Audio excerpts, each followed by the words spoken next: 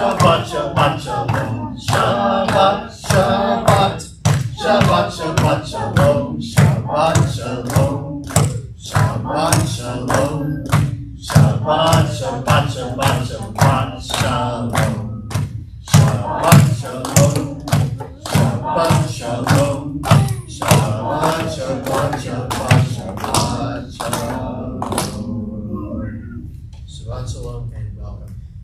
Let's go ahead and just go through some of our slides right now.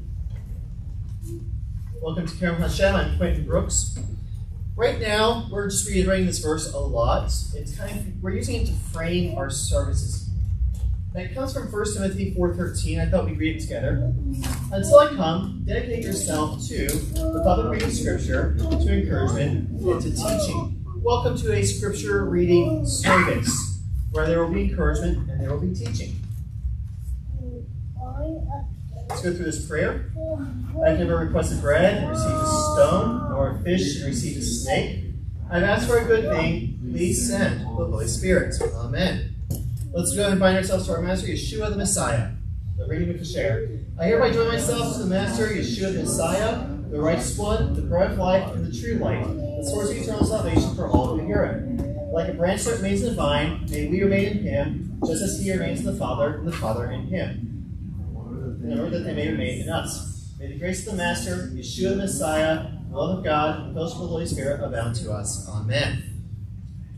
Amen. We're all here for Yeshua today. And there's a song that's kind of burning in my heart right now. And if you know it, you know it, and if you don't, you don't. Um, but just go ahead and enjoy it with me. It sounds like this. Yeshua HaMashiach Adonai. Yeshua HaMashiach Adonai. Yeshua HaMashiach. Yeshua HaMashiach. Yeshua HaMashiach Adonai. It goes on, but that's the part. Yeshua HaMashiach Adonai. He is the reason we're here today, and we are gathered here today in Amen. May we always be found in Him, enjoying ourselves to Him and His teachings. Let's go to page 98. the She'ein Kamocha.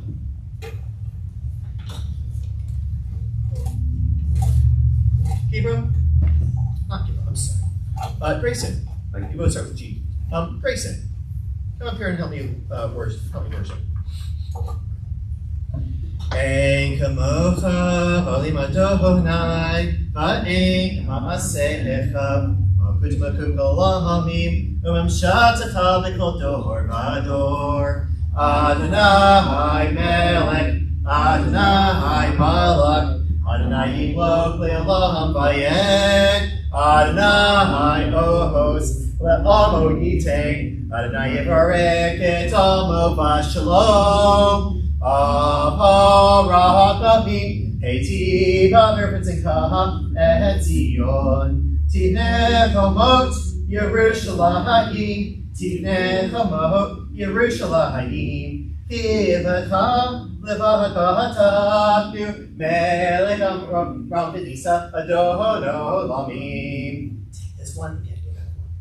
There is none like you, Adonai, and there is nothing like your deeds. God, you rule eternally. Kingdom lasts for all generations. Adonai rules, Adonai rule.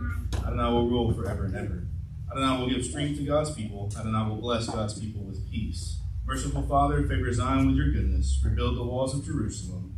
For we trust only you, ruler, God on high, sovereign of the worlds. Let's all rise for the opening of Aron Kodesh. Viking Saharon, Birman Moshe. Shema Adonai, Vayfutu Oivecha, Vaynusu Mishnecha Mipnecha, Ki Mitzion Tete Torah, Ki Mitzion Tete Torah, V'gar Adonai Yerushalayim, Baruch Shenatan Torah Torah, Baruch Shenatan Torah Torah, La'am Yisrael, Whenever the ark would travel, Moses would say, Arise, Adonai, and scatter your enemies. May those that hate you flee from you. For Torah shall come from Zion, the world Adonai from Jerusalem. Blessed is the one who in his holiness gave the Torah to Israel. Continue on page 101. Praise be the name of the sovereign of the universe. Praise be your crown and your place. May your love for your people Israel last forever. May the salvation of your right hand be revealed to your people in your holy house. Grant us the goodness of your line and accept our prayer with mercy. May it be your will that we be granted a long good life, and may I be counted among the righteous, so that you will have mercy on me, and protect me in all that is mine and all that belongs to your people Israel. For you are the one who nourishes all and sustains all. You rule over all. You are the one who rules over earthly rulers, and sovereignty is yours. I am a servant of the blessed Holy One. I bow before God and before the honor of God's Torah at all times. In any human do I trust, nor on any angel, but in the God of heaven, who is the true God, and whose Torah is true, and whose prophets are true, who multiplies deeds of goodness and truth. In God do I trust, in God's holy honored name I speak praises. May it be your will that you open my heart to Torah and completely answer my heart's desires and those of your people for good, for life, and for peace. Amen. Page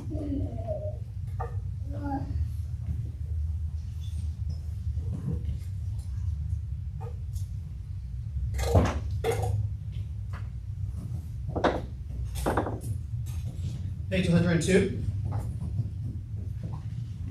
Shema Yisrael Adonai Eloheinu Adonai Echad. Shema Yisrael Adonai Eloheinu Echad Eloheinu Gadol Adonai Kadosh Shema.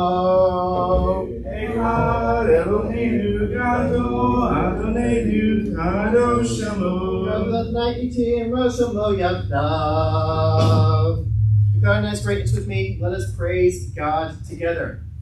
L'ka Adonai Hagedula V'Hagibora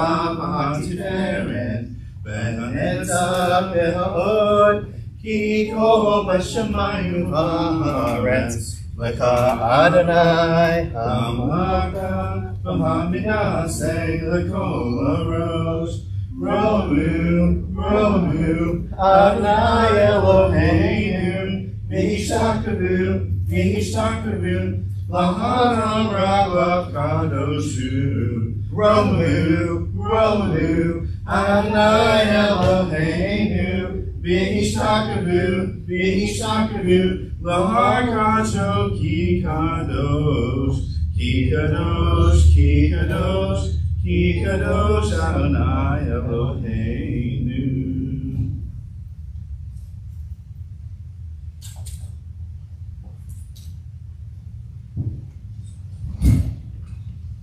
be seated. Let's go ahead and get our step here.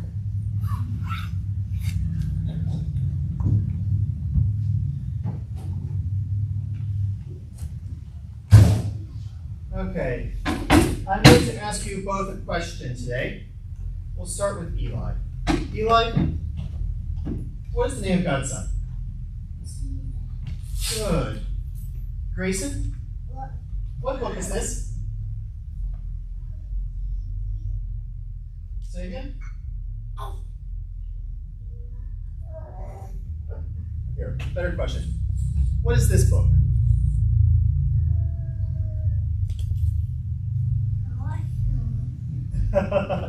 it's the Bible.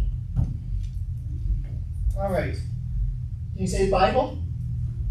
Bible. Give me a high five. That's right. Up, up. So can't can't skip one of you. Okay, come up here and look at the at the at the Bible in front of us today. You see that? That's where I'm starting today. Im bechukata. Im bechukata. All right. Why don't you sit down and let Grayson look?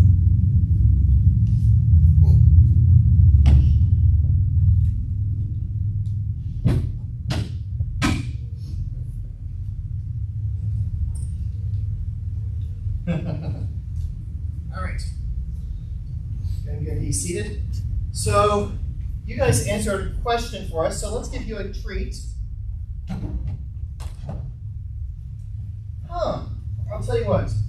Point at the one you want. We have. Okay. So let's go ahead and put that up there. And everyone, repeat after me.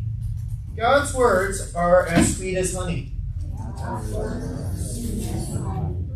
ahead and pick that up. And I'll say this in front of everyone. I believe very strongly that God has a special role for all of our children here, for Eli, for Grayson, and for little Michael Bean.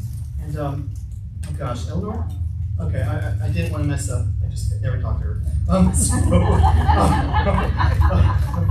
um, we believe it very sternly.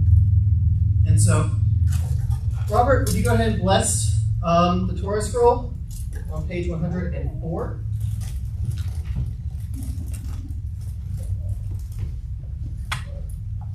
Right there.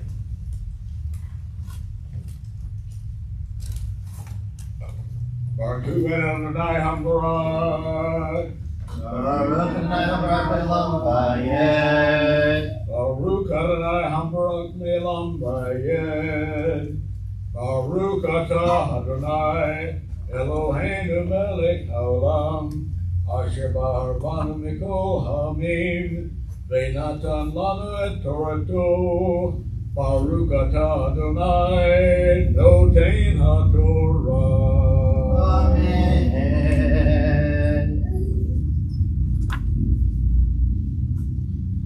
Mipikutah telekuhu, ve'et mitzvotav tishmru, va'atzitem otam, v'natni uh, ishmechem, ve'itam v'natah haaretz yehu Allah, va'et hashedeh yitzim paro.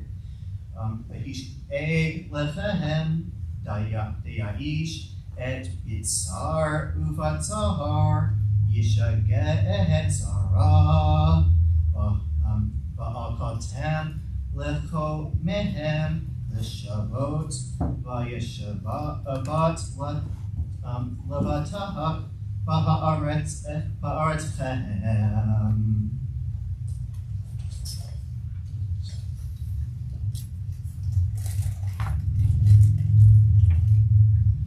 Baruch atah Adonai Eloheinu melech haolam Asher natan lanu Torah emet Ve'hayei olam natan betuhenu Baruch atah Adonai Notein HaTorah Amen. And today's Torah reading comes out of the book of Leviticus, chapter 26, verse 3. If you will live by my regulations, observe my mitzvot, and obey me, then I will provide the rain you need in its season. The rain will yield, in, the land will yield its produce, and the trees of the forest will yield their fruit. Your threshing time will extend until the grape harvest, and your grape harvesting will extend until the time for sowing seed. You will eat as much food as you want and live securely in your land. And that is actually the first portion of the parashah today. It's kind of short. So let's go ahead and hear a messianic commentary from Robert.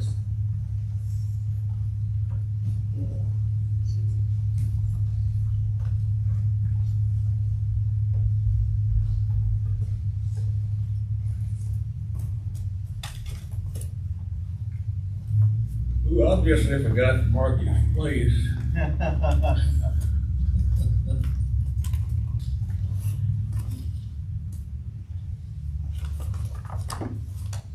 One of the many talents, by the way, that I have. Parashat Baruch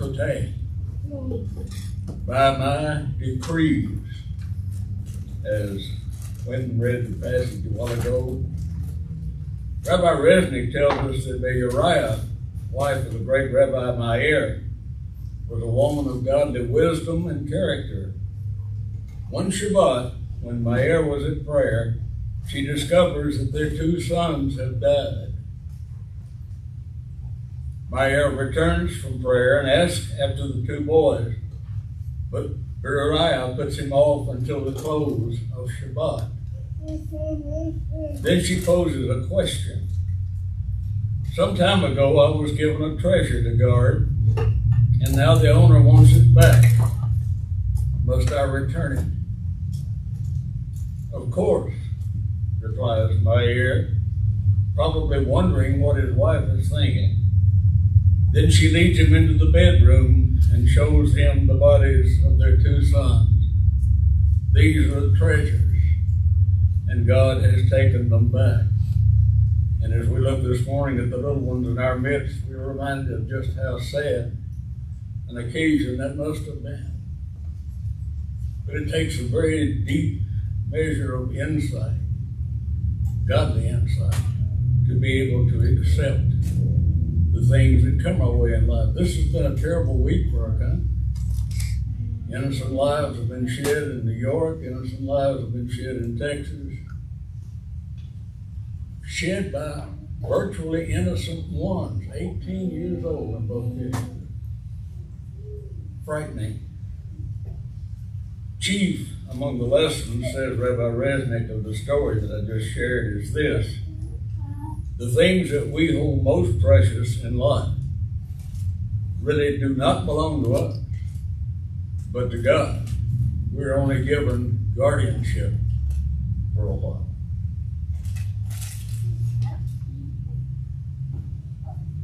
If we cannot possess, totally possess, even these most precious things, we ultimately, he said, possess nothing at all. Dispossession implies loss or violation, but in God's design, it may draw us into boundless riches, as we may hope that Uriah and Meir discovered. The final chapters of Leviticus speak of possession and dispossession to reflect the big story of the Torah that we're on our way from creation to completion. Each of us in our own lives the same journey, though it may take us down different roads. In most years, he says, we read the final parashat of Leviticus, Bahar, the, yeah, Bahar and they together as one week's portion, and both take place in the same setting, at the foot of Sinai, spiritually, at the foot of Sinai. The Bahar opens and Adonai spoke to Moshe on Mount Sinai. Bechukotai and the entire book of Leviticus concludes these are the commandments which Adonai commanded Moshe for the children of Israel on Mount Sinai. There they received their final set of instructions before they departed to the land of promise. And I would be willing to bet that not one in the crowd imagined at that time as they set out that 38 more years of wandering in the wilderness lay ahead for them. Instead, instead, these instructions were to be the final orders before Israel entered its inheritance, which would happen after the 40 years of travel.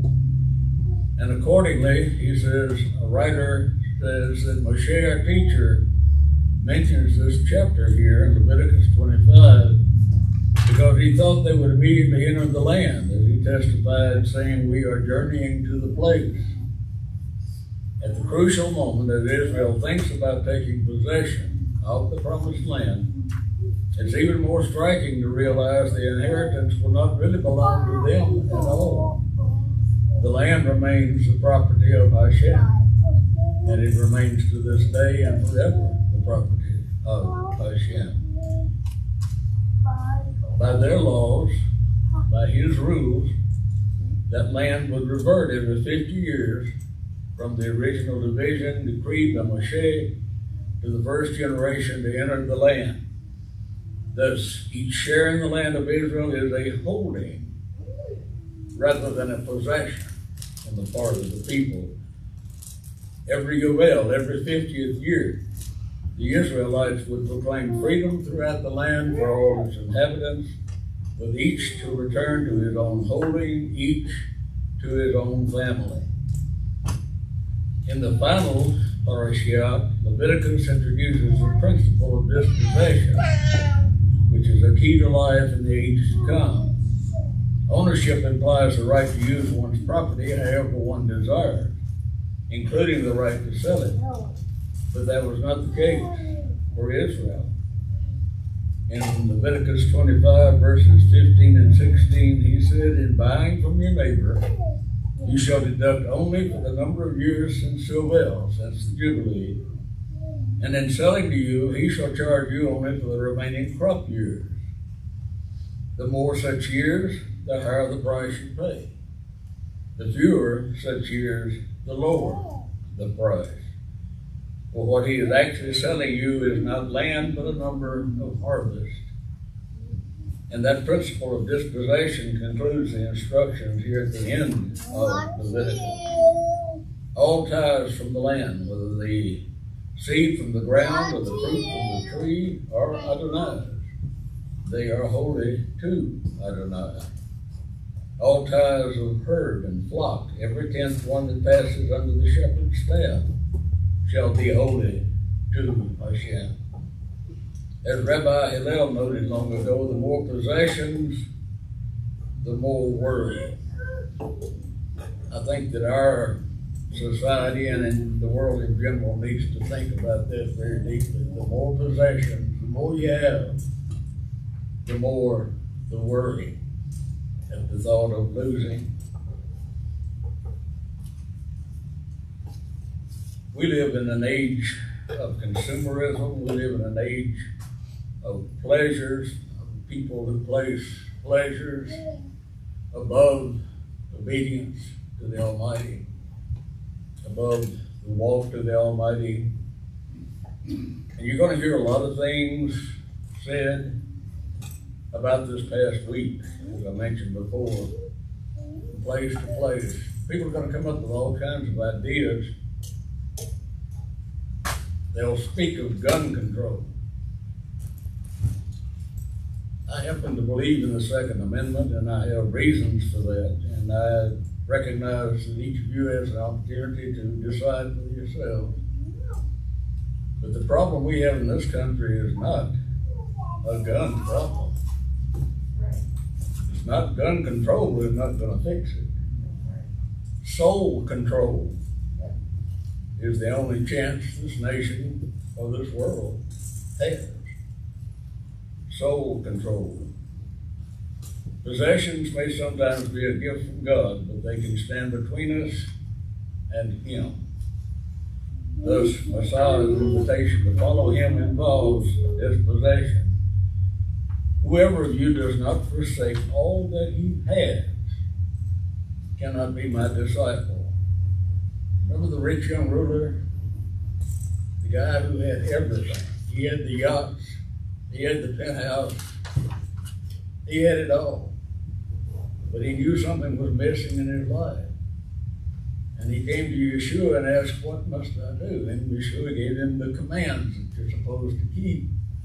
And he said, I keep all of these, but I'm still not complete. And he said, If you want to be complete, sell everything you've got. Give that away and come and follow me. And like many in our society today, it says that he went away very sorrowful because he was unwilling to grant to God the desire that held him for the riches that were his and the things that wealth bought. His act, Yeshua's act of dispossession, was made for us. He endured death as the obedient son of Adam, so that all the disobedient children of Adam may endure life instead of death. His act, however, is also an example for us, as Rav Shaul notes, that the same mind be in you, and this challenge, the same mind be in you that is in him.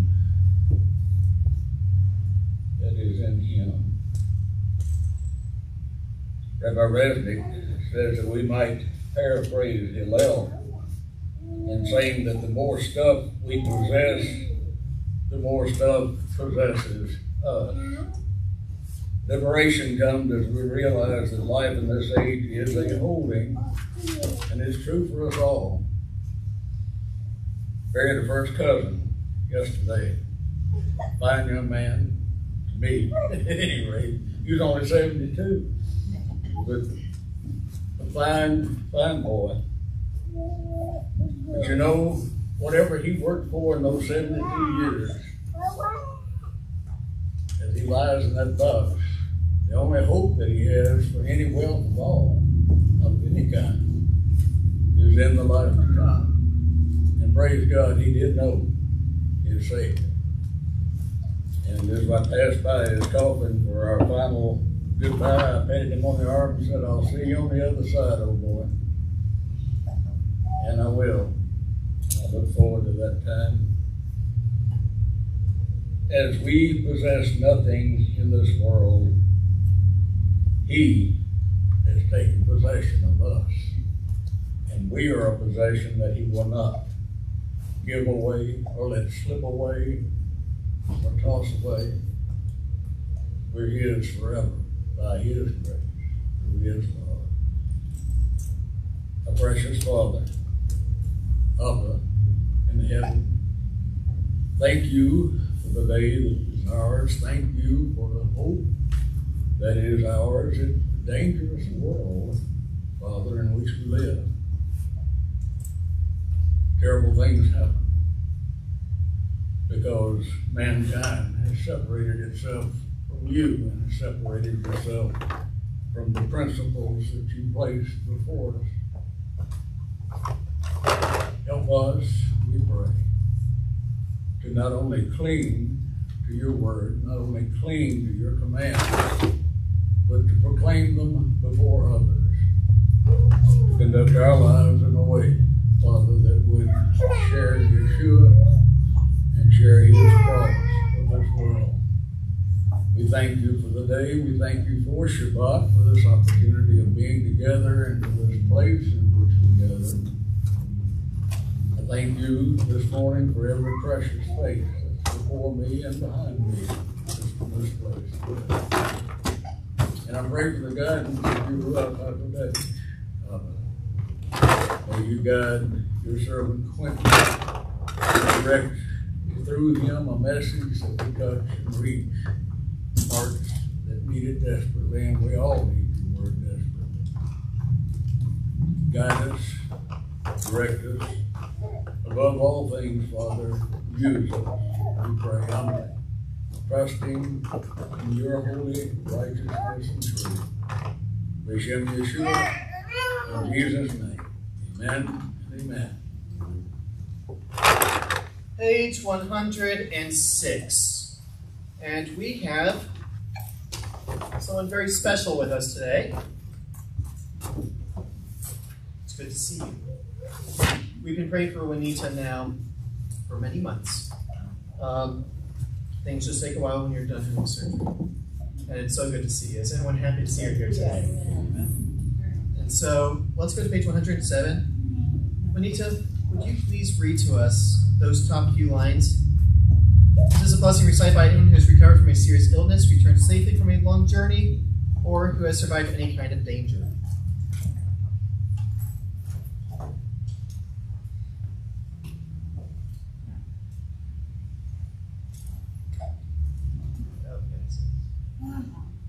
Out loud. Uh, Read out loud. Oh, but here, Yes. praise are you, O God, O God, our God, wonder of the universe, who acts kindly, work towards the undeserving, and dealt kindly with me. May the one who has bestowed goodness upon you continue to grant you every kind of goodness. Amen. Should we still include you on our list today? Should we include you on our list for prayers for healing's sake? Okay. So let's go on over to page 108.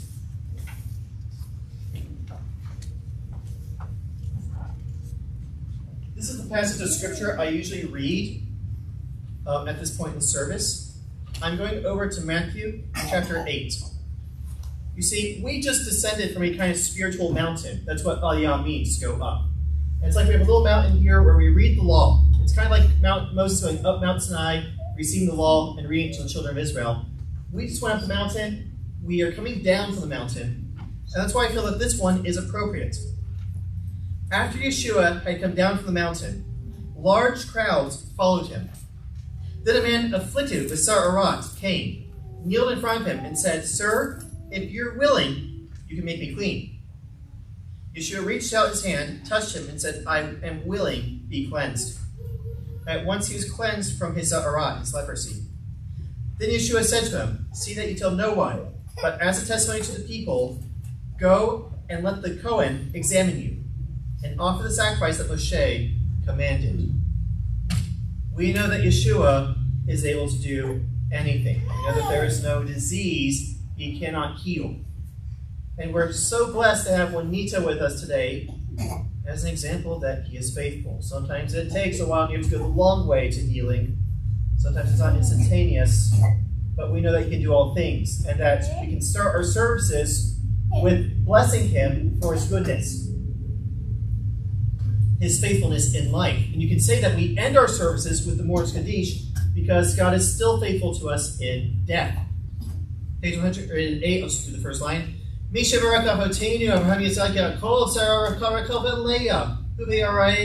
Um, Ahole. Page 109. May the Holy Blessed One, who blessed our ancestors, Abraham, Yitzhak, Yaakov, Sarah, Rivka, Rachel, and Leah, bless and heal Yonatan, Juanita, Teresa, Carol, Maria, and Gail Renee. If anyone else wants to lift up a name now, you may. Max Amelie. Lord, give them healing. May the Holy One give him support, give them support, courage, determination, and patience of spirit. Grant Yonatan, Juanita, Teresa, Carol, Maria, Gail, Renee, and Maximilian physical and spiritual wholeness. May God in kindness strengthen and heal them speedily, body and soul, together with others who are ill, and let's say Amen. Amen. Oh God, heal them speedily. Amen. Let's go to page 110. Hear their voice of God when they call. Be gracious to them and answer them. In your hands is the soul of all living things. We turn to you now to give aid to those in distress. Grant them patience, faith, and courage, never let despair overwhelm them. Be with them in difficult times. Help them to face anxieties with confidence and hope. Give them with your healing power so that in vigor of body and mind they may return to their loved ones for a life of blessing and sustenance. Restore them to health, O God, and give them strength. Praise are due to the healer of the sick. Page 112. Yikada vikada shemei baba. Baba di barakir te bilim makute b'cha yakon of yom amakon ukaye deko be Israel. Bahagala, bahagala, uizmakari bimru, amen. Amen. Yehei shmei rabba merak, valam mei amaya, yibarak, yibarak, yishbak, yibar yirman vit naseh, v'yita dar, vitale, vitala shmei dekuta, briku. Lei'il on the kubur of Ashirata, Tush, Makata Venek, Amata, Damaba'ama, Vimru, amen. Amen. Page 114. Let's go to Bezat Torah.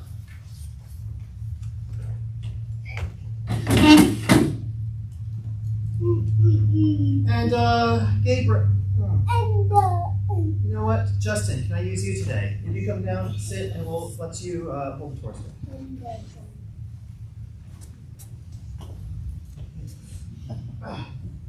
Bezat Torah, Asher Son Moshe, Livnei Bnei Israel, Pi Adonai B'Yad Moshe. It's the Torah that Moshe set before the Israelites, that's God's word by Moshe's hand.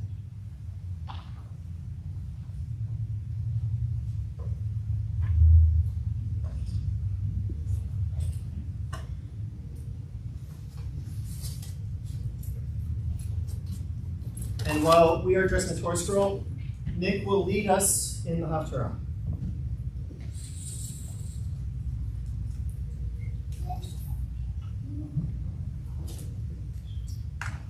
It's a tree of life for those who hold on to it, and those who support it are happy. Its paths are pleasant, and all its ways are peaceful.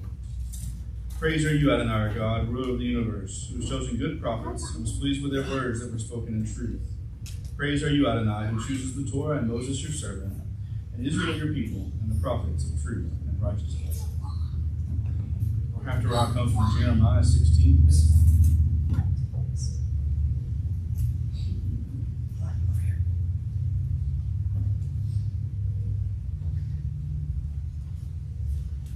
We'll start in chapter 16, verse 19.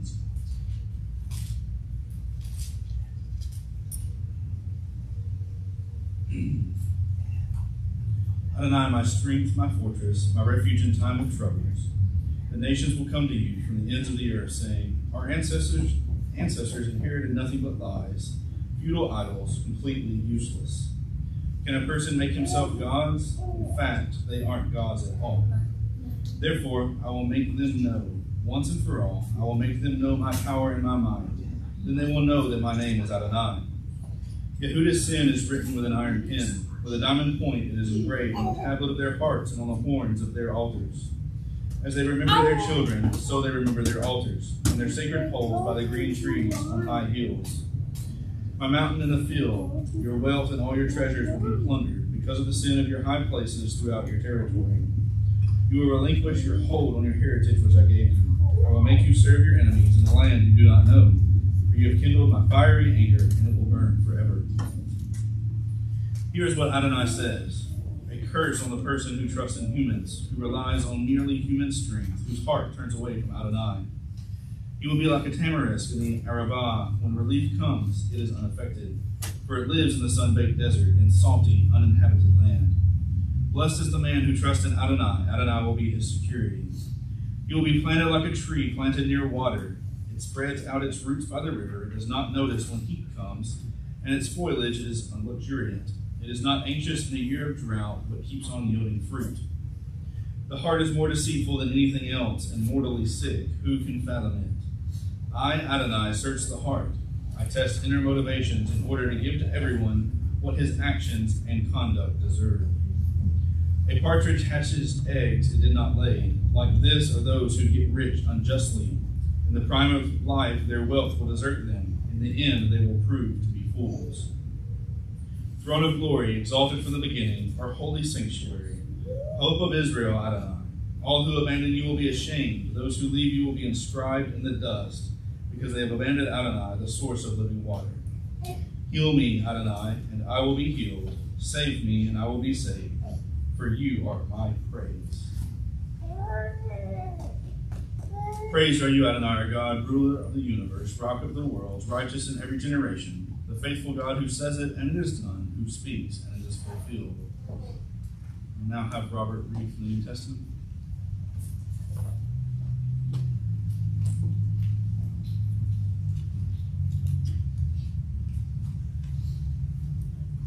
And The reading this morning from Berit Hadashah comes again from Matthew, book of Matthew, reading from the 16th chapter this morning, and I'm reading verses 20 through 28.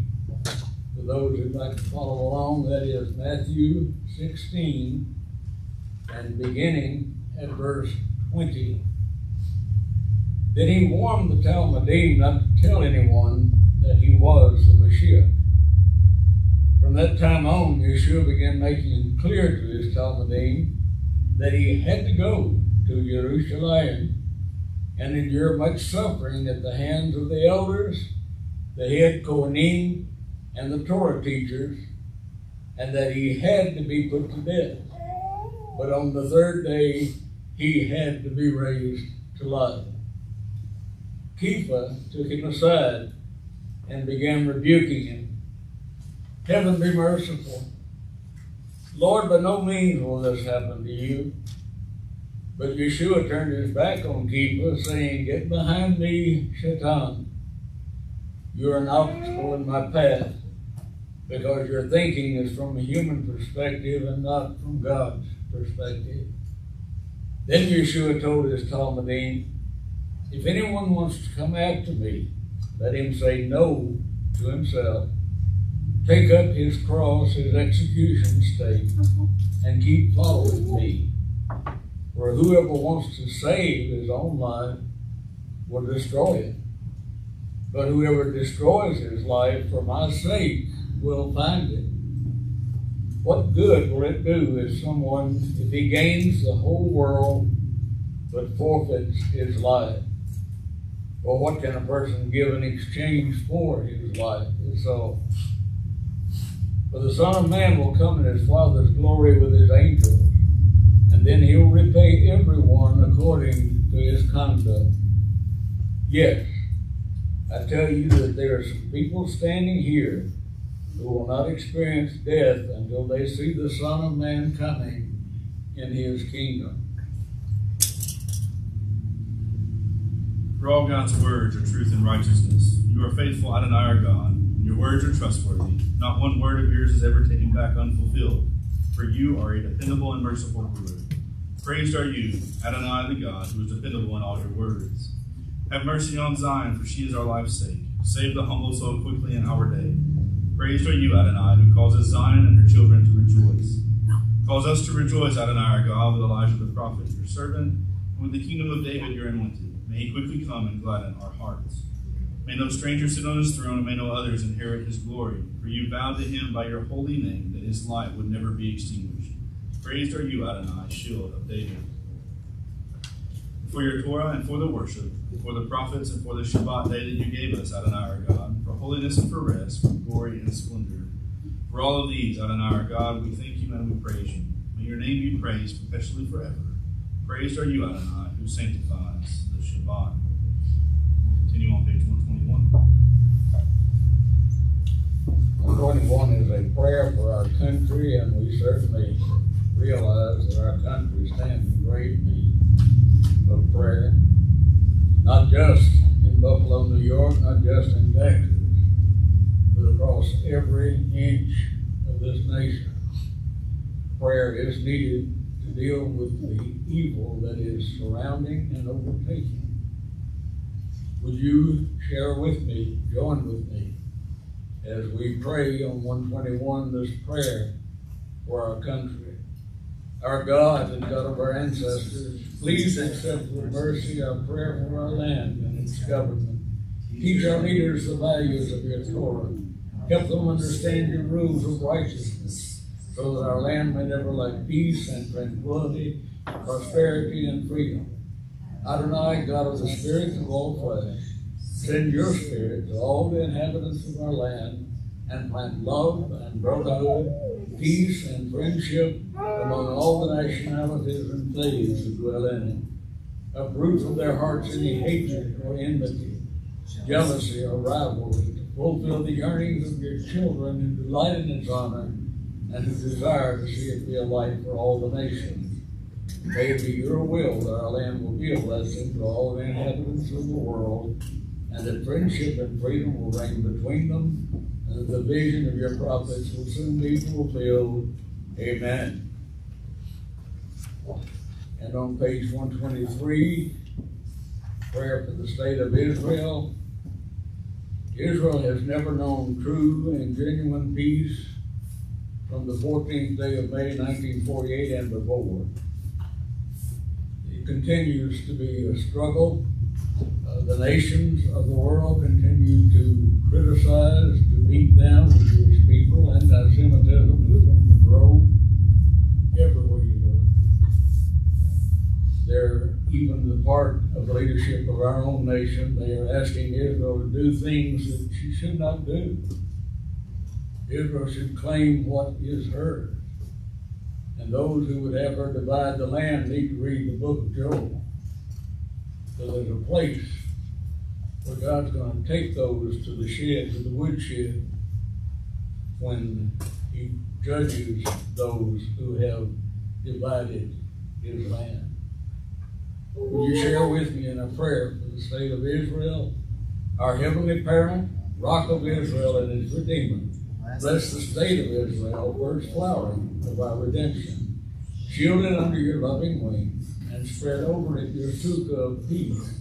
Send your light and truth to its leaders, ministers, and advisors, and guide them rightly with your good advice. Strengthen the hands of the defenders of our holy land. and lead them, God, to deliverance. Crown their efforts with victory. Grant peace to the land and eternal happiness to its inhabitants. And let us say, Amen. Page 125. Yehi ratzon lefaneka Adonai Elohim v'ahavotenu. May it be your will, Adonai, our God, and our ancestors, to renew this month for us for good and for blessing. Grant us long life, a life of peace, a life of goodness, a life of blessing, a life of good livelihood, a life of physical strength, a life in which we will have reverence for God and revulsion for sin, a life in which we are free of shame and reproach, a life of wealth and honor, a life in which we will have the love of Torah and the love of God, a life in which our worthy heart's desires will be fulfilled. Amen. Selah.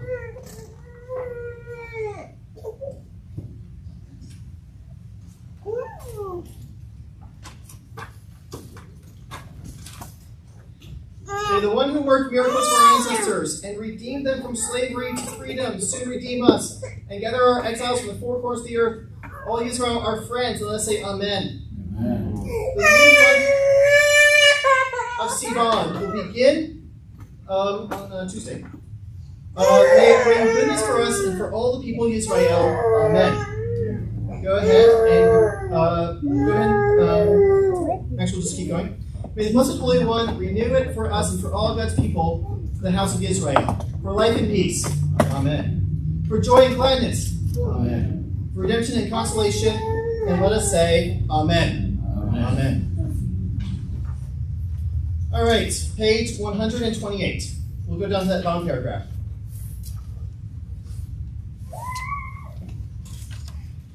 Hallelujah, good,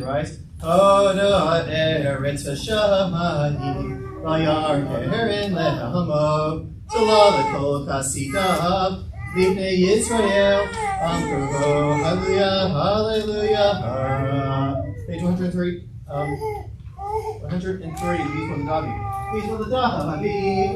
Avu Ladonai B'nei Eli. Avu Ladonai Kavod Avu Ladonai Kavod Shamo.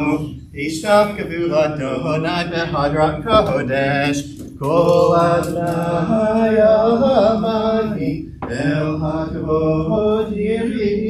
Adonai Almighty Rabbi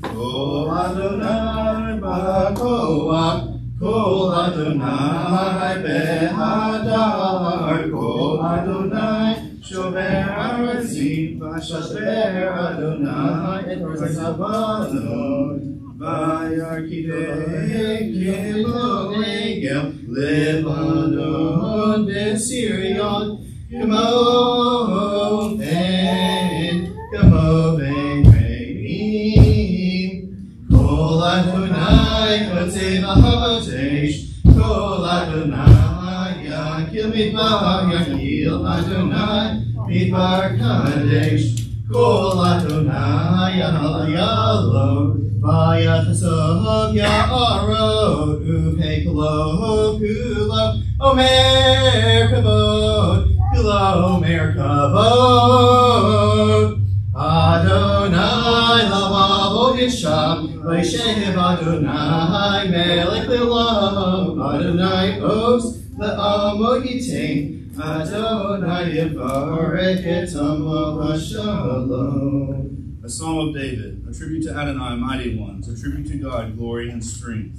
A tribute to Adonai, the glory of God's name. Bow before Adonai in the beauty of holiness. Adonai's voice is over the waters, the God of glory thunders. Adonai is over the many waters. Adonai's voice sounds with power. Adonai's voice sounds with beauty.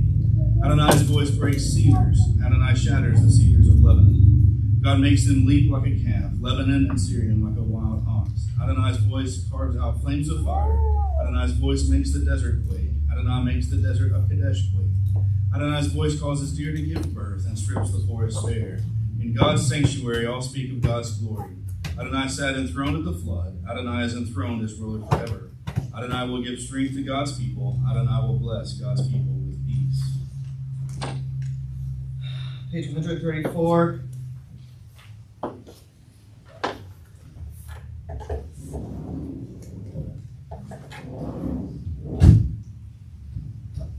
Everyone be seated. When the ark rested, Moses would say, Return on night to millions of Israel, rise up on night to your resting place, the temple, you and the ark your strength. May your priests be clothed in righteousness, and the faithful sing with joy. But sing unto David, your servant, do not reject your anointed one. I have given you good teaching, do not leave my Torah. It's a tree of life for those who hold on to it, and those who support are happy. Its paths are pleasant, and all its ways are peaceful. Return to Sinai, and we shall return from your days as in days of old.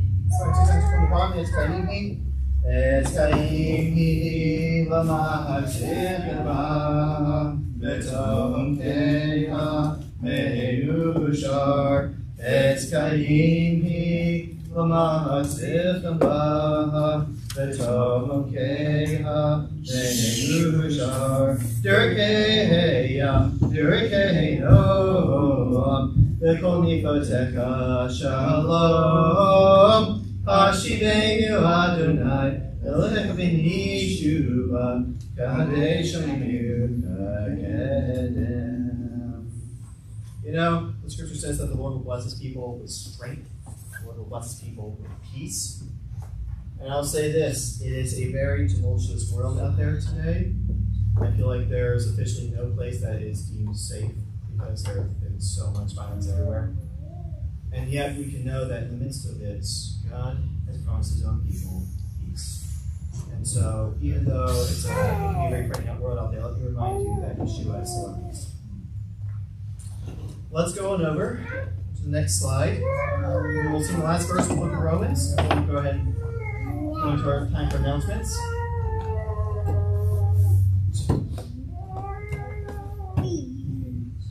To the only wise God, to the only wise God, through Yeshua the Messiah, through Yeshua the Messiah.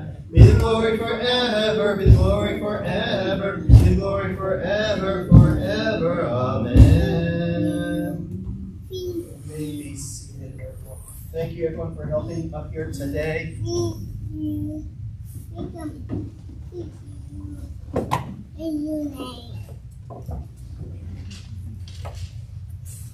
So my first thing on here was welcome back to Juanita, but Quentin already hit it. So she's walking very well. Did you notice? Yay. I agree. It's good to see you. Good feedback. And um, you were gone a long time, so it's good. But we also have Linda back, and most people don't realize she also had surgery, different type of surgery, and she was back kind of quicker.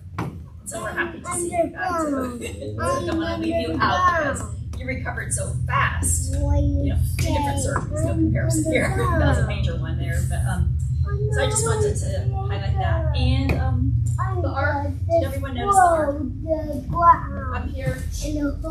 Notice these? Whoa. It no longer looks like a TV entertainment center. And that is Pauline, and I know she's watching on the internet right now. so um, she finished it, and she has just a little bit more to do, but it officially is about complete. So I think she did a fantastic job with that. Quentin did a lot with it, and Eric did some. It was kind of, but it was really Pauline who oversaw the whole thing. That was amazing. We have um, Torah Torah club, of course, on Tuesday with the women at 10 o'clock, and on Wednesday at Quentin's house and Inessa's at 5:15. But we're coming to the end, and I did my Torah lesson already for the upcoming week, and it's get we're getting close to the cross. It's been a two-year cycle, Jesus my rabbi, and we know we're coming to an end here. And we'll be starting a new grouping of it, a brand new topic. It's going to be on wisdom. It's going to be following the Torah cycle, and it's coming this fall. And First Fruits of Zion has they're doing something new that they've never done before, and they are um, they know Torah Club is meant to be studied together in groups, face to face, but they said this is not the world we live in right now, and they are doing something brand new, and it's where you'll hold a group on the internet. It's a different type of group. If you're interested in this, let me know. And First to Zion, right now, you have to interview with them and do different things. They want to make sure we're all on the same page. And we have one group already starting out of this congregation who's going to be, I think, in, there are people in Texas and all over. And so if you're interested, this is where family groups, and if I'd like my daughter in Wisconsin to be part of a tour group, but um, there is one near her house, but it's closed. It's too full, and so they never accepted anyone for the last two years. This way, people that can't get in groups all over the United States can get into. If you feel led to do this, I am not. I am not a computer person. I didn't even turn on my cell phone today. I don't think. I'm. I'm yeah. If you think Quentin, he is like so good compared to me. okay? He doesn't like computers. I like him even less. So this is not geared toward me, but there's other people who are very savvy on technical stuff, and they like to do these meetings. And so First Fruits Zion has a whole new thing. So you can either talk to me about it, talk to Quentin about it, or go to First Fruits Zion and talk to them about it. So that's something kind of new. We have Shavuot, which is Pentecost, and we're celebrating that today. And I, I'm sorry. Oh no, I brought all the food this week. Oh, it is next week. I am so off. Well, we have lots of food in the back. I was Okay. wondering why you're bringing so many burgers. Okay. Oh my goodness. You know what? This has just been a week for me. I get those weeks too. All right. Well, I brought a bunch of burgers. I'll put them in the freezer, whatever's left over, so everyone feel free to eat them. That's. I'm so sorry. I guess I'm off a week. Well, I'll just tell you about the burgers. I at first thought I was going to do hot dogs, but then I thought it's a dairy holiday. Why would I do hot dogs? It doesn't make sense. So I bought these burgers, and actually the congregation bought the burgers, and they are gluten-free, soy-free, non-GMO vegetable. And I searched, I found some, we grilled them all, we put them in buns, and they're in the back. You can have some today, and whatever doesn't, we're putting them in the freezer. We're going to bring them out next week. I'm sorry, I am just like off a week. that happens. Um, we are starting groups. Groups are coming, and we have one Friday night group beginning in a couple weeks, and we I, I believe it's already full. If you are interested in hosting a group at your house, um, let me know. Or if you're interested in participating in a group, say like my house isn't big enough, or you know I live with other people, I want to go to one. Let me know, and so it can be um, whatever the host wants. It can be any night of the week. Ours is going to be on Friday night but just we're gonna try. I know some people want to be part of it, and so we need people who are willing to host them right now. But if you want to be a participant, let me know that too. This Wednesday is June first, correct? Yes.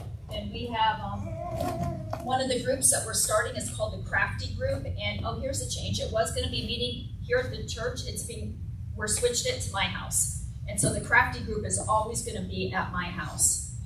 And we are making these trays. And also we are making these little plant ter- terrariums. So they're kind of cute. That's what I'm making. Looks easier. But the whole kit is included and there's a cost involved. I think it's eight dollars for the one and fifteen for the other. If you want to come, let me know today. Um, I have to know by today because the cost of the kits to put everything together. And then we're gonna, um, it doesn't meet every month, it meets every other month. So this Wednesday is gonna be the crafting group at my house, and I live across the street from the hospital, Tennova, at exit four, kind of that area, so that's where I live. And after service, I am going to be going around to everyone asking you to make sure I have the correct phone number and address and email for every single person, so we can connect a little bit better. Sorry, I guess I missed.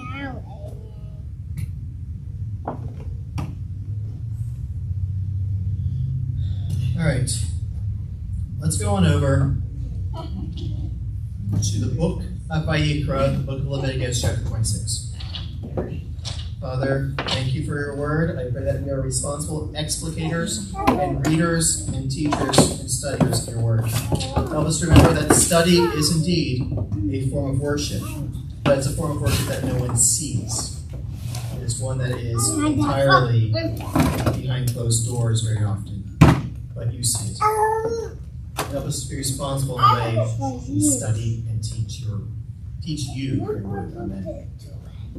If you will live by my regulations, observe my mitzvot, and obey them, then I will provide the rain you need in its season. The land will yield its produce, and the trees in the field will yield their fruit. Your threshing time will extend until the grape harvest, and your grape harvest will extend until the time for sowing seed. You will eat as much food as you want and live securely in your land. Wow, we're off to a great start.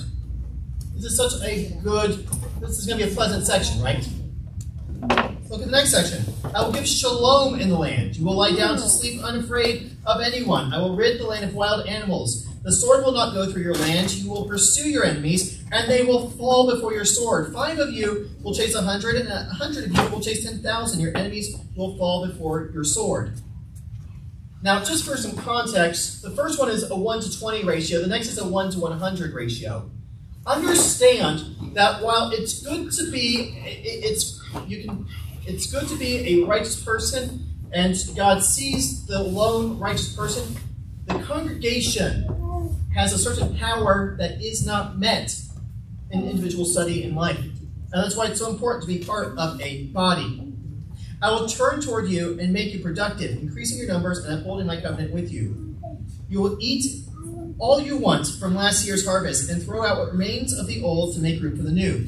I will put my tabernacle among you, and I will not reject you, but I will walk among you and be your God. You will be my people, and I your God, who brought you out of the land of Egypt so that you will not be their slaves. I have broken the bars of your yoke so that you can walk upright. Something that I feel is that recently I've been preaching a lot, not teaching so much, but preaching, and I've been preaching big concepts.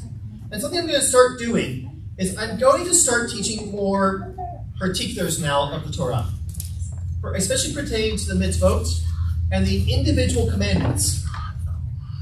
But, and I'm just letting you know that, and that God very much loves His Word.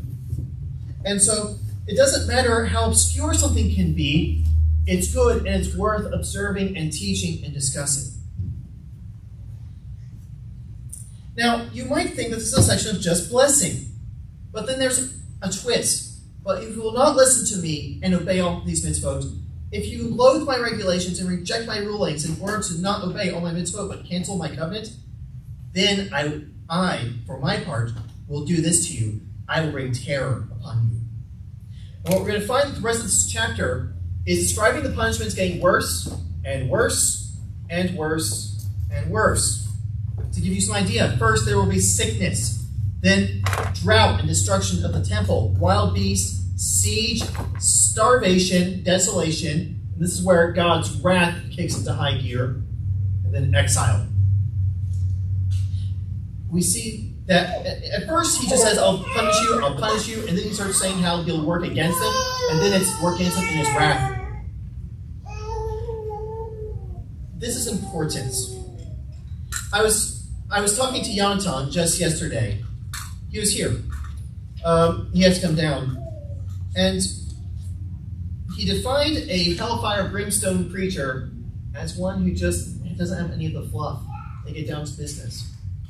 Sometimes I've been accused of being kind of hellfire brimstone. But it's serious, because the goodness of God is worth celebrating. But the wrath of God is also worth recognizing, observing, and living in reverent fear. And there is a what I feel a parallel passage to this in Romans chapter 1, starting in verse 24. Let's go there now. And this is often seen as the trajectory for a wayward nation. So, what Paul is doing here is he is talking about the Gentile world. Israel rejected prophets in the past, but the Gentile world rejected philosophers. And God gave philosophers to the Gentile world who were just so clear. They were so intelligent. And that the Gentile world had traded over the great philosophers for nothingness. And Paul says, Where's the great philosopher of this age? They're gone. And in verse 24, he starts talking about God's relationship with a wayward Gentile nation. This is why God has given them up, them, plural, to vileness of the heart's lust, to the shameful misuse of each other's bodies. That's the first layer. They have exchanged the truth of God for falsehood by worshiping and serving created things rather than the Creator. Praise be He forevermore. In context, this is talking about idolatry, but it's the working of hands. And I think that it's interesting to me that the two nations that put flags on the moon one is still there, and the other is us. We reached our climax, so to speak, in a scientific revolution. But what came shortly after was the sexual revolution. This is why God has given them up to degrading passions, so that women exchange natural sexual relations for unnatural, and likewise the men giving up natural relations with the opposite sex burn with passion for one another, men committing shameful acts with one another, receiving in their own persons the penalty appropriate to their perversion. So after the sexual revolution, we have what we're seeing now. In other words, since they have not considered God's wor- uh, God worth knowing, God has given them up to worthless ways of thinking, so that they do improper things. They are filled with every kind of wickedness, evil, greed, vice, stuffed with jealousy, murder, quarreling, dishonesty, and ill will. They are gossips, slanderers, haters of God. They are insolent, arrogant, and boastful. They plan evil schemes. They disobey parents. They are brainless, faithless, heartless, and ruthless. This is called the debased mind. They know, I'm sorry, they know well enough that God's righteous decree that people who do such things deserve to die, yet not only do they keep doing them, but they applaud the others who do the same. You see, there are two parallel passages here. The Gentile nations are handed over to a heart's lusts, degrading passions, and worthless ways of thinking.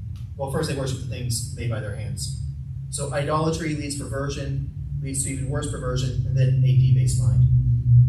Four layers of wrath. I hear people say things like, if we allow homosexuality to increase, then God's wrath will be poured out in this country like Sodom and Gomorrah. I encourage you to reread the section. It doesn't say that. Homosexuality is the punishment because you're being handed further and further over. Oh, that that's not bad enough? Here's, a, here's an even worse one. Why is it, let me pose a question to us though. Why is it that Israel has seven layers of punishment, but the Gentile nations have four? What is the difference?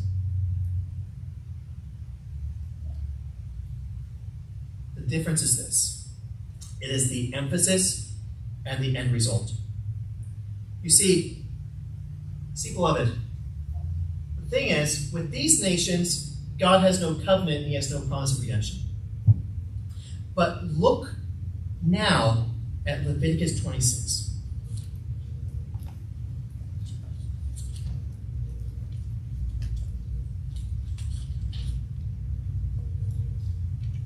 Sickness, drought, and destruction, wild beasts, siege, starvation, desolation, exile. But what where does it end? Verse 39. Those of you who remain will pine away in the lands of your enemies from guilt over your misdeeds and those of your ancestors. Then they will confess their misdeeds and those of their ancestors which they committed against me in their rebellion. They will admit that they went against me. At that time, I will be going against them, bringing them into the land of their enemies. But if their uncircumcised hearts will grow humble, and they are paid the punishment for their misdeeds, then I will remember my covenant with Yaakov, also my covenant with Isaac, and my covenant with Abraham, and I will remember the land. Remember the land. The land. Say that, the land. For the land will lie abandoned without them, and it will be paid its Shabbat, it lies desolate without them. And they will be paid the punishment for their misdeeds, because they rejected my rulings and loathed my regulations. Yet, in spite of all that, I would not reject them when they are in the land of their enemies nor will I loathe them to the point of utterly destroying them, and thus break my covenant with them, because I am Adonai their God. Rather, for their sake, I remember my covenants of their ancestors, whom I brought out of the land of Mitzrayim, out of Egypt, with the nations watching, so that I might be their God. I'm Adonai. These are the laws, rulings, and teachings that Adonai himself gave to the people of Israel on Mount Sinai through Moshe. Sounds a like a lot like the Torah. And so my my answer to you is those covenants had those nations had no covenant with God. But Israel did. And that's why Israel can rely on worse punishments at times, but also the promise of redemption. Scripture says this Do not lose heart at the Lord's rebuke, and do not make light of his punishment. We often find that his rebuke comes, and if we don't take it seriously, then comes the punishment. And if you fear God, don't lose hope and despair at the rebuke. But, but, if you don't fear God, you will probably be pushed through into punishment territory, and you're told not to make light of it. Because when He punishes, He is serious. And so I have another question for us, and this is a question I did some reading into, and I couldn't seem to find an answer. So I'm going to give you my answer. You see, this portion today is divided into two. First, we're talking about the blessings and consequences of keeping the covenant. Good. This seems like a good way to end the book, right? But look at the next verse. And I said to Moshe, Tell the people of Israel, if someone makes a clearly divine, defined vow to Adonai to give him the amount equal to the value of a human being. Now, wait a minute, what's it talking about? Vows and gifts to the temple.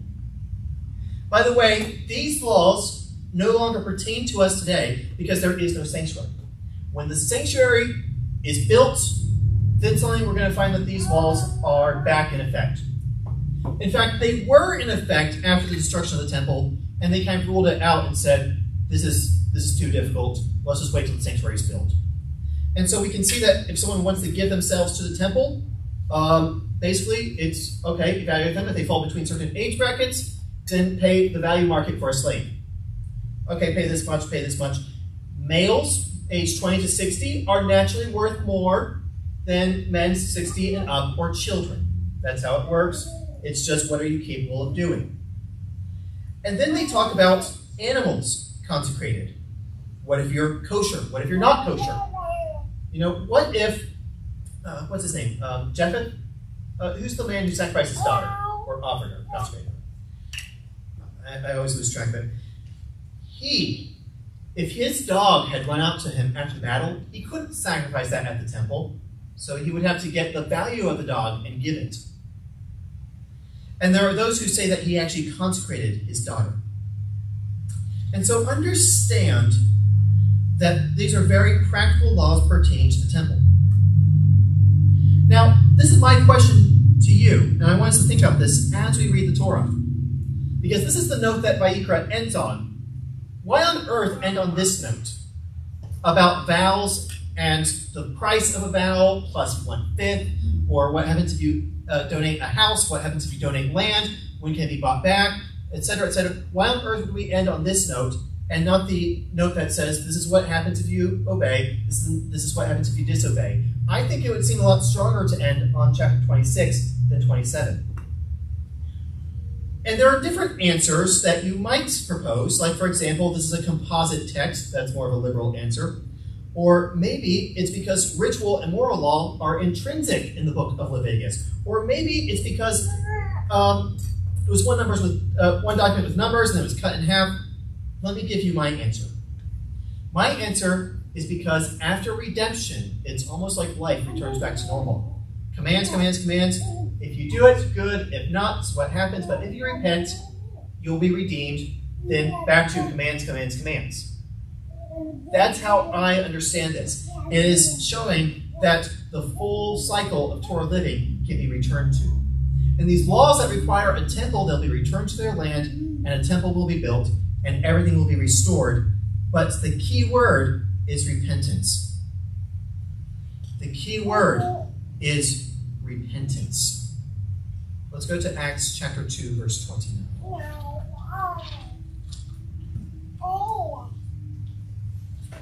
You see, we have a call to be people who walk in repentance, bear fruit in keeping with repentance. Bear fruit is the good things that you are doing, but repentance is handing over the bad to God.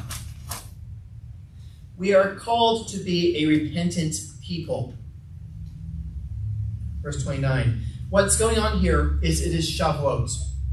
And Kepha, Peter, is talking to a crowd that is gathered around the house at the coming of the Holy Spirit. He says, Brothers, I know I can say to you frankly that the patriarch David died and was buried. His tomb is with us to this day. Therefore, since he was a prophet and knew that God had sworn an oath to him the, uh, that one of his descendants would sit on his throne, he was speaking in advance about the resurrection of Mashiach. That it was he who was not ashamed, uh, abandoned in Sheol and whose flesh did not see decay. God raised up this Yeshua, and we are witnesses of it. Moreover, he has been exalted to the right hand of God, has received from the Father what he promised, namely the Ruach HaKodesh, and has poured out this gift which you are both seeing and hearing. For David did not ascend into heaven, but he says, And I said to my Lord, Sit at my right hand until I make your enemies a footstool for your feet. Therefore, let the whole house of Israel know beyond doubt that God has made him both Lord and Messiah. This Yeshua, whom you executed on a cross, on a stake. On hearing this, they were stung in the hearts, and they said to Kepha and the other apostles, the emissaries, Brothers, what should we do? Kepha answered them, Turn from sin. Return to God. And each of you be immersed on the authority of Yeshua the Mashiach into the forgiveness of your sins, and you will receive the gift of the Ruach HaKodesh, the Holy Spirit. For the promise is for you and your children and for those far away, as many as Adonai our God may call. We will probably return to this passage next week because that is Shavuot. And it's appropriate that we have that in mind for Shavuot because it's so easy to talk about Shavuot as the day we received the law, or maybe to talk about Ruth, or maybe to talk about the coming of the Holy Spirit, the Ark of Kadesh. But what if I propose to you that another huge component of Shavuot, as revealed here, is repentance? The people of Israel left Egypt and stood at Mount Sinai before their God. Likewise, we are to leave these horrible things and return to God in repentance. That is the theme oh. between Leviticus 26 and 27. That is the connecting thread. That is why, because Israel was given repentance and those other nations were not. Repentance is an absolute must. Notice this language. Turn from sin, return to God, and each of you be immersed on the authority of Yeshua. What does that what is that word return? What is that in Hebrew? Teshuvah. It's repentance. What is that last line we sing from the Etz Chayim Hi? Return to us and we will return to you. We can't return to him without repentance. We will make teshuvah.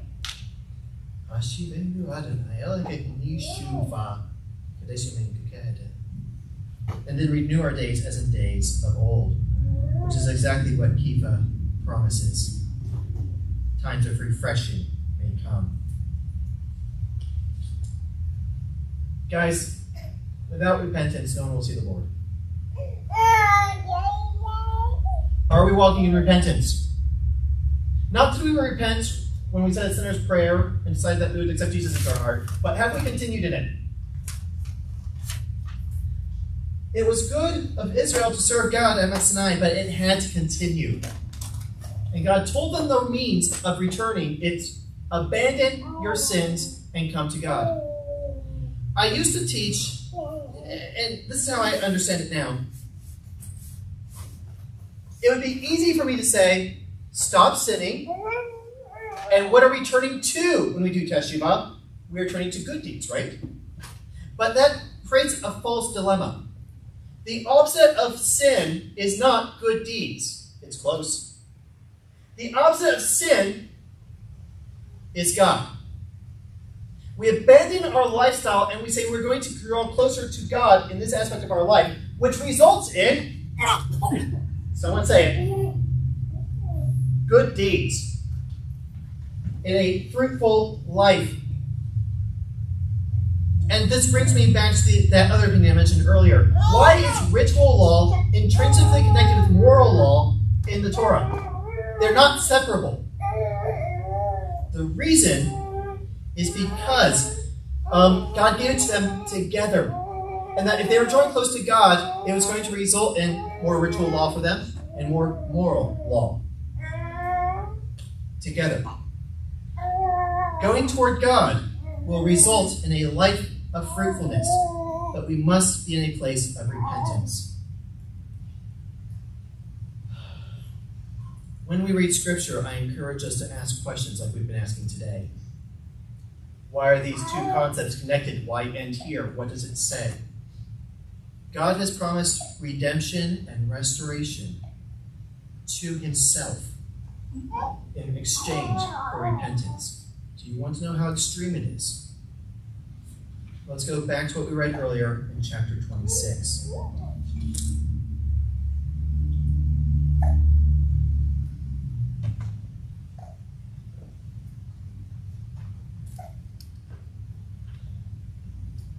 I'm going to start in verse 11. I will put my tabernacle among you, so I will rebuild the sanctuary, and I will not reject you. But I will walk among you and be your God, and you will be my people. Walk among you? What does that sound like? It sounds like the return to Eden. The return to Gan Eden, to the Garden of Eden, where God walked with Adam and Chava in the cool of the day. It will be a return to perfection and Edenic state. It will be like sin never happened. I've got good news for you. That if you've fallen into sin, or if sin has messed you up and you think it's too far gone, repent, and God will make it better than it once was. What do I mean by this?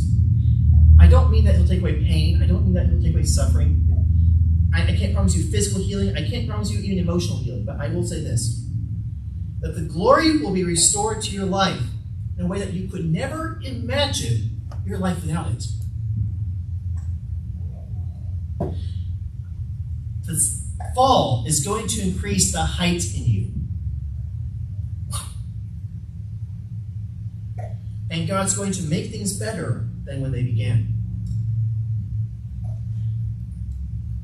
With God, very often, our worst mess ups can be redeemed into our most glorious moments. Can. Not always. People will come up to me with stories, and I'll say, you know what? You might have to carry that one until you die. But I've seen time and time again God's faithfulness. Someone returns to God, and God returns to them in full force. I can't promise you much, but I can promise you that He is faithful and He will. If you turn to Him in repentance, He will run to you. How did I become a Messianic teacher here? Well, I tell people in 2012 I had to lose my anointing.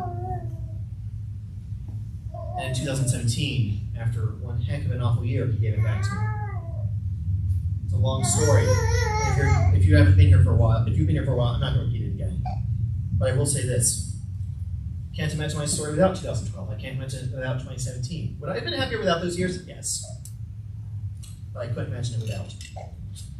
Very many, very often when we walk with the Lord, we're going to say, this chapter was awful, but man did the Lord redeem it. I believe that the children of Israel are going to look back in the past and say, we can't believe what we had to go through in uh, 70 AD and all the time since then, and all the persecutions and all the slaughters. But my word, when, when we're singing Israel and Jerusalem, and Yeshua HaMashiach is walking among us like he promised, and we are literally living in a perfect world, we're going to say we can't imagine our lives without it now. God took the worst day possible, Good Friday, and made it the best day possible. God took the worst possible thing, like the Exodus, or like enslavement in Egypt, and made it the best possible thing in the Passover. God wants you to return to Him. He wants you to leave your sins behind and walk with Him. As He said, I'm Adonai your God who brought you out of the land of Egypt so that you would not be their slaves. I have broken the bars of the yoke so that you can walk upright. God wants you to be free of sin. So many people will stand up here and promise you physical blessings and prosperity. I'll tell you this God wants you to know Him. God wants you to be free of sin. God wants victory in your life over the flesh. God died. He sent His own Son to die for you so that you could have it. And that is your inheritance. But we must walk in it. All sorts of interesting things going on here with the words. Like, why does it say that the fruits of the field will be fruitful? Well, the kind of the rabbinic explanation is that even trees that couldn't produce fruit because they were just a pine tree or whatever, suddenly will be able to produce fruit. And there's myth and legends. A woman will conceive and give birth in the same day. In other words, the, the, the result of the fall will be undone. And scripture says that wheat will grow seven times faster or seven times stronger. It's going to be perfect when this happens, but it is all reliant, as Kepha said, on Shavuot, on the people of Israel recognizing Yeshua HaMashiach and returning to God in repentance. And that day will come, and I believe it's very soon. Let look around you. This is the beginning of it.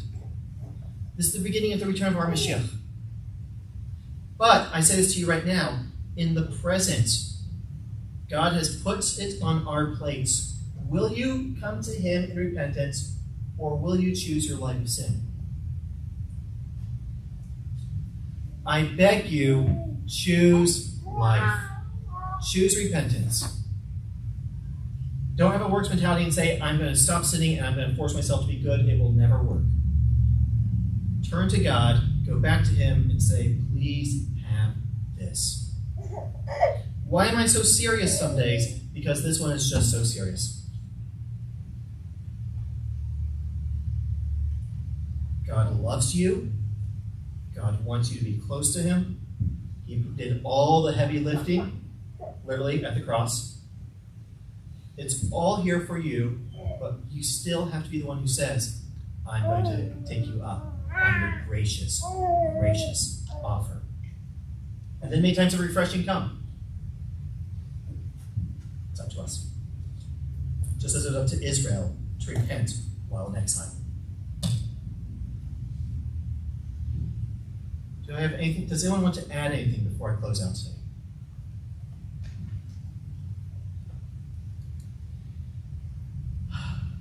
If we're walking with the Messiah, the truth is we're probably repenting of something. Walking with Him, walking with God. We're going to be finding imperfections in our own lives. And just understand it's a process, it's a constant process, but it's a good one. Father, thank you for this day. Thank you for your word. Thank you for your goodness to us. Thank you for everything you have done for us on the cross. Before then and since then, you are so faithful to us. All God's people said, Amen. Let's go to page 162.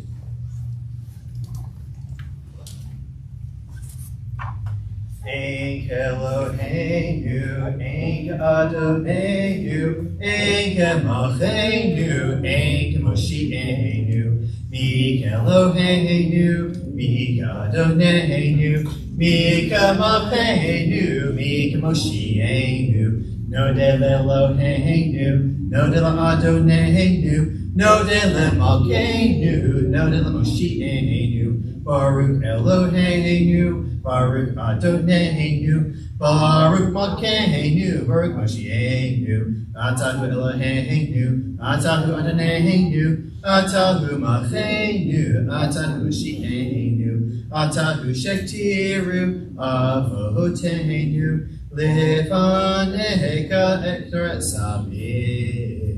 There's none like our God, there's none like our sovereign, there's none like our ruler, there's none like our deliverer. Who is like our God? Who's like our sovereign? Who's like our ruler? Who's like our deliverer? Let's thank our God. Let's thank our sovereign. Let's thank our ruler. Let's thank our deliverer. Blessed is our God. Blessed is our sovereign. Blessed is our ruler. Blessed is our deliverer. You are our God. You are our sovereign. You are our ruler. You are our deliverer. You are the one to whom our ancestors offered the incense offering. I notice how it's transitioning from talking to God in the third person to talking to God in the second person it's like we've drawn near. Let's go to page 166, a musical note. Vene'emar Mahaya Adonai Lamelech Haaretz Bayom Hahu Bayom Hahu Yeh Adonai Echad Ushmaho Ushmaho ושמהו, ושמהו אחד. Kaddish Yatom. Sorry. Um, today, I have the names Paul, Scott, Barry, Lori, Phelan, Angela, and William in front of me. Uh, is anyone here mourning the loss of a loved one somewhere in the last year, in the last 11 months? We're coming up on a one year anniversary. Oh, yes. What's the name? Name's Alfred Fisher. Alfred. All right. Anyone else? All right, Robert, would you like to lead us in this, or would you like to just say it together? think you better. Raising your hand. Uh, we lost a niece by the name of Carrie. Carrie. Alfred and Carrie. All right, go ahead and stand up. And if you want to stand in solidarity, you may.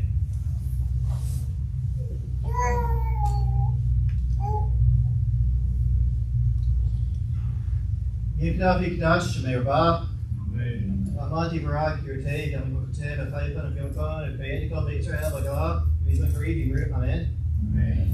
Yehe, Shemay, Barak, Barak, Elam, Amay, Amaya. Yibarak, Vishvat, Vipar, Vipam, Viknas, Say, Vitadar, Vitale, Vital, Shmay, Kucha, Riku. Miko Vikatan, Vishirtan, Tish Vikatan, and Ekmata, and Rabama, Vimru, Amen. Yehe, Shema, Rabam, Mishmaya, Vikaim, Aleni, Vekol, Israel, Vimru, Amen. Bow to the left. Oh, say shalom to Ramav. Bow to the right. Uya say shalom aleinu. Bow to straight. Vayikol Israel, Imru, Amen. Amen. Let's read those last two stanzas together. May there be abundant peace from heaven and light for us and for all Israel, and let's say Amen. May the one who makes peace in the high heavens make peace for us and for all Israel, and let's say Amen. Go out in the grace and peace of our Master Yeshua the Messiah. Go out in repentance too. You are dismissed and enjoy this wonderful week with Him. You are dismissed.